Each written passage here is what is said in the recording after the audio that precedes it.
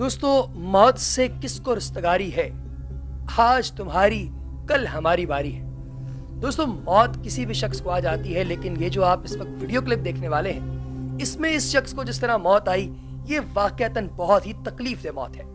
दोस्तों, घोड़ों की एक रेस जो कि दुबई के अंदर मुनद हुई, इस रेस में जोकीस जो के घोड़े पर बैठते हैं, ये तेज तराज भागते, दौड़ते, निकलते जा रहे थे। इन्हें अंदाज़ा भी नहीं था कि इस रेस कोर्स ट्रैक के ऊपर कोई भी ऐसी चीज़ रूनुमा होगी जिसके नतीजे में इनकी जान भी जा सकती है।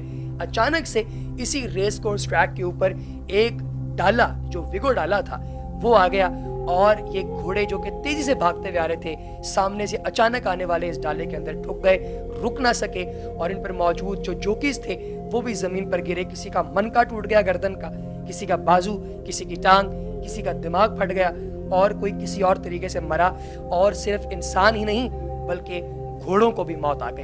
वीडियो देखिए और कमेंट सेक्शन में अपनी राय से हमें आगाह कीजिए।